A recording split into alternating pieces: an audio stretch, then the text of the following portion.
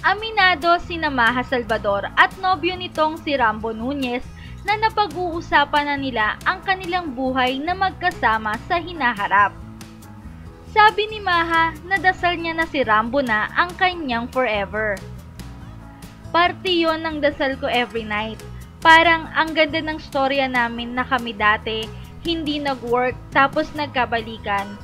Tapos yung second na balikan namin, naging smooth naman yung flow ng relationship. Tapos sa sitwasyon natin, magkasama pa kami. Tapos kasama ko pa ang pamilya niya na ang turing talaga sa akin ay pamilya na rin. Sobrang inaalagaan din. Say ni Maha, pag-amin naman ni Rambo na pag-uusapan na nila ni Maha ang kanilang kinabukasan na magkasama.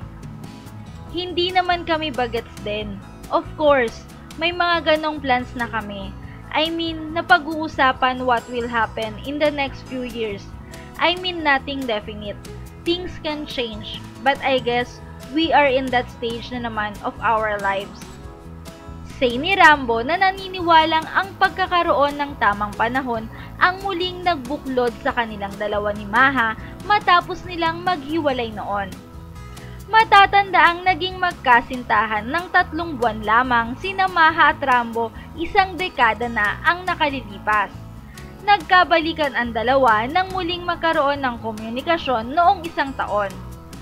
Binahagi din ni Rambo na sobrang proud siya sa kasintahan. Sobrang proud because matagal ko na naman siyang kilala.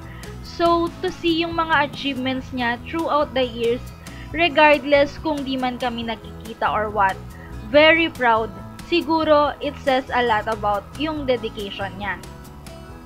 Wala pa man silang planong magpakasal, pero aminado sina Maha at Rambo na napag-uusapan na din nila ito once in a while hindi naman daw sila nagmamadali at gusto muna nilang enjoyin kung anong meron sila ngayon.